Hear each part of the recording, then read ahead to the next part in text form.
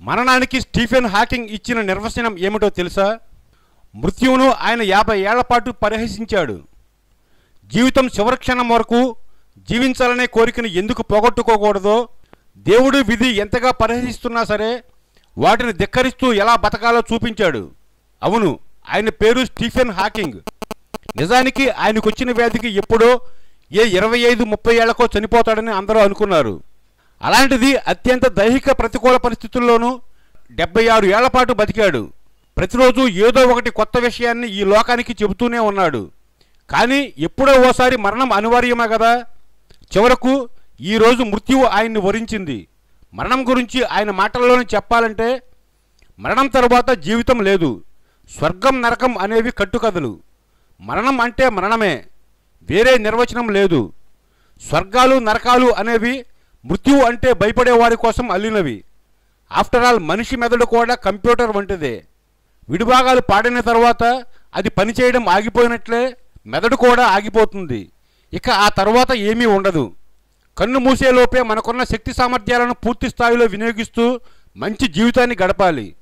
మనం చేసే పనులు అత్యున్నతంగా ఉండడానికి కృషి చేయాలి. నలభై తొమ్మిది ఏళ్ళుగా మరణం నాకు అత్యంత సమీపంలోనే ఉంటున్నది. అయినా సరే నేను చావుకు భయపడడం లేదు. అలాగని త్వరగా మరణించాలని కూడా నేను భావించడం లేదు. నేను కన్ను మూసేలోపు చేయాల్సిన పనులు ఎన్నెన్నో ఉన్నాయి. మోటార్ న్యూరాన్ డిసీజ్ ఓ భయంకరమైన నరాల వ్యాధి. ఈ వ్యాధి స్టీఫెన్ హాకింగ్ బతుకును దుర్భరం చేసింది. కానీ తను ఆ వ్యాధిని వెక్కిరిస్తూ అసలు తనకేం కానట్టే బతుకు పోరాటం ఎలా ఉండాలో ఓ ఉదాహరణగా మారాడు. తన తండ్రి వృత్తిరీత్యా లండన్లో వైద్య పరిశోధకుడు. నిజానికి తన గణిత ఉపాధ్యాయుని ప్రేరణతో గణిత శాస్త్రంలో స్పెషలైజేషన్ చేద్దామనుకున్నాడు స్టీఫెన్. కానీ దానికి వ్యతిరేకంగా తండ్రి కెమిస్ట్రీలో చేర్పించాడు. తర్వాత పంతొమ్మిది వందల యాభై తొమ్మిదిలో నేచర్ సైన్స్ విద్య కోసం స్కాలర్షిప్ పరీక్ష రాశాడు. అందులో సఫలీకృతుడు కాగలిగిన స్టీఫెన్ భౌతిక శాస్త్రంలో స్పెషలైజేషన్ చేశాడు. కాస్మాలజీ జనరల్ రిలేటివిటీ పరిశోధనల కోసం ఆక్స్ఫర్డ్కు వెళ్ళాడు. అప్పటి నుంచి స్టీఫెన్ పరిస్థితి పూర్తిగా మారిపోయింది. అన్నం తినాలన్నా కనీసం బూట్లు లేసి కట్టుకుందామన్నా స్టీఫెన్ శరీరం సహకరించేది కాదు. అప్పుడు పరీక్షలు చేయిస్తే ఈ వ్యాధి నిర్ధారణ అయింది. ఈ వ్యాధి నరాలు వెన్నుపూసపై ప్రభావం చూపిస్తుంది. డాక్టరేట్ అయ్యేలోపు స్టీఫెన్ బతికి ఉండడనే అనుకున్నారు అందరూ.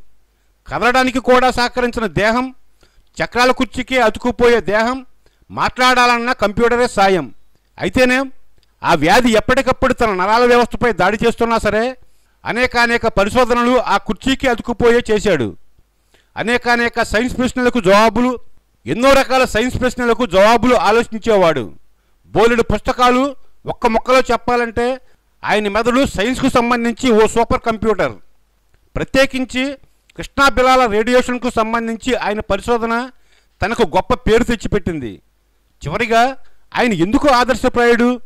చిన్నా చితక దైహిక అననుకూలతలకే జీవితంపై వైరాగ్యం పెంచుకొని ఇసురోమంటూ బతికే లక్షలు కోట్ల సంఖ్యలో ఉన్న దివ్యాంగులు ఈయన జీవితం విధిపై ఆయన సాగించిన ఎదురుదాడి అంటే తను ఏమాత్రం ఫ్రస్ట్రేషన్కు గురికాకుండా విధిని వెక్కిరించిన తీరును అందరూ వినాలి ఓసారి. మూఢనమ్మకాలకు గురికాకుండా జీవితంపై ఓ శాస్త్రీయ అవగాహన పెంచుకొని ఆ బాటలోనే వెళ్ళాలనుకునేవారు ఆయన జీవితాన్ని చూడాలి. జీవితపు చివరి క్షణం వరకు విధితో సోకాడు దేవుడితో ఆ మృత్యువుతో ఎలా పోరాడాలో తెలియాలంటే ఆయన్ని చదవాలి. చిన్న చిన్న సమస్యలకే ఆత్మహత్య చేసుకునే కుంగుబాటు పెరుగుతున్న ఈ రోజుల్లో అందరూ గుండె నిబ్బరం అంటే ఏమిటో తెలుసుకోవడానికి స్టీఫెన్ హాకింగ్ జీవిత చరిత్ర ఓసారి చదవాలి.